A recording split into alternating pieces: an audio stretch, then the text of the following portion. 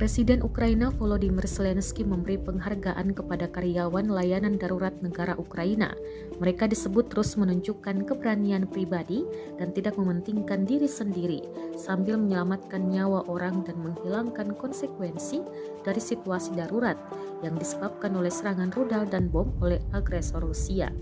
Dengan dekret yang sesuai, kepala negara memberikan sejumlah penghargaan, seperti rekaman yang diunggah Zelensky di Facebook pribadinya pada 16 September 2022 kemarin.